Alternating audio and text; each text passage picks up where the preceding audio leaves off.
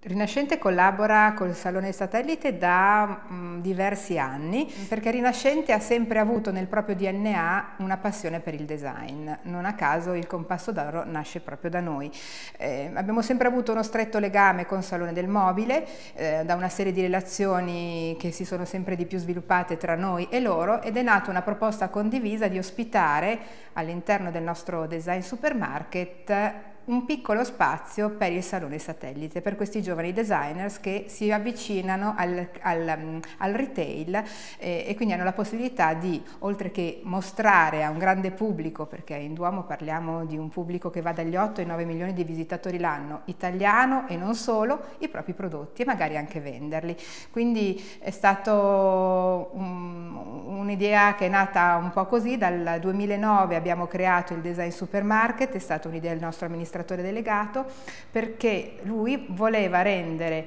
Rinascente ha voluto rendere accessibile a tutti i clienti che ci visitano il design, non solo il design italiano ma anche quello internazionale. E questa collaborazione continua e si arricchisce ogni anno sempre di più. Noi cerchiamo di selezionare all'interno dell'offerta di designers del, del, Salone Satellite i prodotti che sono più vicini al nostro pubblico, quindi non, troviamo, non cerchiamo il prodotto che è sicuramente avanti e che è difficilmente percepibile da un pubblico che è molto vasto e non solo di addetti ai lavori. Cerchiamo di selezionare quei designers e quei prodotti che sono poi vendibili perché almeno eh, la, diamo la possibilità a queste, a, questi, a queste persone di iniziare a vendere il loro prodotto e quindi la commerciabilità sicuramente è un aspetto molto ma molto importante. Il materiale, cerchiamo di fare delle selezioni di prodotti che hanno materiali diversi, dal legno alla pietra. Eh, L'innovazione, mm, scegliamo dei prodotti che hanno un contenuto innovativo rispetto a tutto ciò che magari è già presente che è un déjà vu, quindi cerchiamo di dare, presentare sempre delle novità, senza mai dimenticare però la vendibilità e l'appetibilità per il nostro cliente ehm, de, del prodotto che presentiamo. Un esempio su tutti, l'anno scorso abbiamo messo in vendita la caffettiera di Fucillo, che ha avuto un grandissimo successo, un designer italiano, quindi l'abbiamo portato l'italianità in questo palcoscenico internazionale durante proprio il, il, periodo di Expo e abbiamo venduto tantissimi pezzi. Quindi questa è una, stata poi una grande soddisfazione per noi, per il Salone Satellite, ma anche per i giovani designers che hanno avuto questa grande possibilità. Il, il, design, la direzione del design eh, è abbastanza, è complesso dare mh, esprimere in poche parole questo concetto. Eh, sicuramente per Rinascente il design come ha fatto parte in passato del nostro DNA, continuerà ad essere una parte integrante della, della nostra strategia. E, e, noi dovremo cercare di essere un po' i promotori, continuare ad alimentare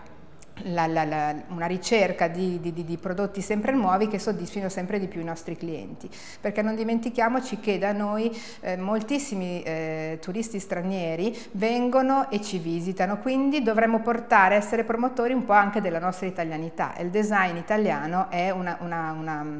ha, ha una un forte componente è molto molto importante. Dire quale sarà la direzione del design è molto, molto complicato però quello che ho visto ehm, c'è, un ritorno al passato, eh, forse abbandon stiamo abbandonando un po' il concetto di minimalismo che era un po' tipico degli anni, degli anni 2000, ma le persone si vogliono portare a casa dei prodotti che hanno comunque una storia, che hanno dei materiali che esprimono calore, eh, che hanno ma anche una, una, una parte di, un, po', un po ludica, no? con un contenuto tecnologico un po' diverso, immagino il mondo della luce luce, c'è un'evoluzione pazzesca a questo, a questo riguardo. Eh, ma la cosa importante è portarsi a casa delle cose che hanno un valore per, per, ciascuno di noi e quindi esprimono e creano anche un'emozione. Quindi io vedo questa forte tendenza che ho visto durante il Salone del Mobile di quest'anno, durante il fuori salone e ritengo che questa possa essere un po' la direzione che ha intrapreso il design. Quindi una ricerca di novità ma comunque una forte radice col passato.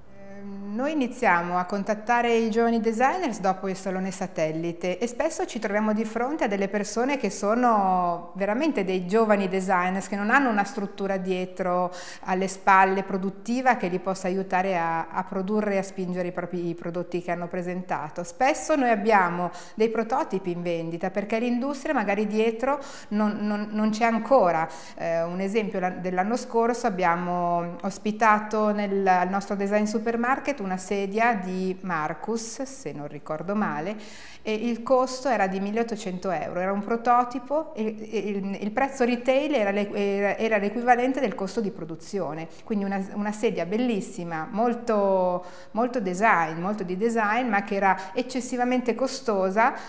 per poter essere venduta su ampia scala. Quindi è fondamentale che anche con l'industria si crei un rapporto molto forte e noi possiamo essere comunque sempre quella vetrina che mette in contatto il designer con l'industria. E questo rafforzerebbe tutti perché anche un nostro rapporto più forte con l'industria ci permetterebbe di dare maggiori possibilità di vendita e di, di, di successo di prodotti che, che noi ospitiamo nel nostro department store.